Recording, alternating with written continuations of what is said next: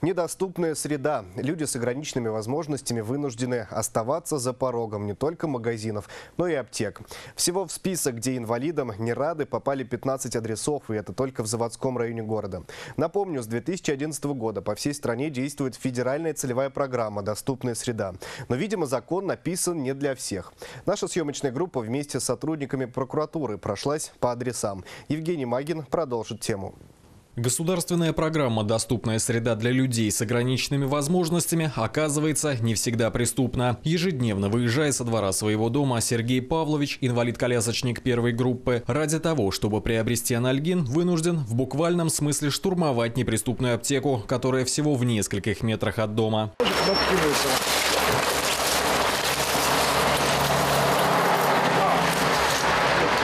Нажав кнопку вызова персонала, через пару минут из двери аптеки выбегает молодая девушка-фармацевт, которая в одиночку никак не может провести вовнутрь инвалида-колясочника. Поэтому обслуживать приходится прямиком на улице, невзирая на то, что аптеки обязаны быть доступны для всех граждан. Если подъезжает человек-инвалид, либо же у нас еще рядом детская поликлиника, очень много мамочек с колясками, звонят, вызывают нас все время двое в смене, то есть один человек всегда сможет обслужить и выйти. Правда, такое уличное обслуживание не делает для инвалиду среду доступной. Учитывая это, сотрудники прокуратуры заранее провели экспертизу, которая показала, что данное заведение недоступно для людей с инвалидностью. Дело в том, что вот просто даже с помощью сопровождающего лица, но так как вот э, ну, не, не, не совсем оборудовано, да, а, а в некоторых местах вообще как бы не оборудовано э, сам магазин, то есть попасть вообще нереально. Нереально попасть, оказывается, и в крупный торговый павильон, который расположился в центре заводского района. Пандус вроде как есть, но пользоваться им невозможно.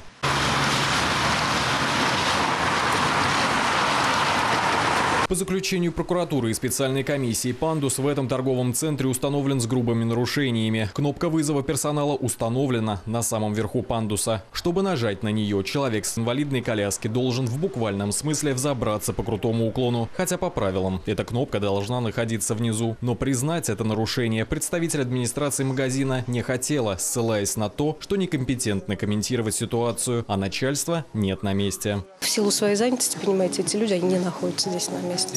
Поэтому на телефоне представитель администрации. Пару раз представитель магазина убегала в служебное помещение, либо же разговаривала по телефону с руководством. Спустя несколько минут диалог все же состоялся, но в присутствии представителя правоохранительных органов. Пандус не оборудован поручнями, что также не соответствует вышеуказанному э, своду правил. Отсутствует яркая контрастная маркировка на прозрачном полотне двери, что не соответствует аналогичным правилам свода. А, вышеизложенные нарушения а, были отражены нами в представлении, которое направлено в адрес руководителя данного учреждения.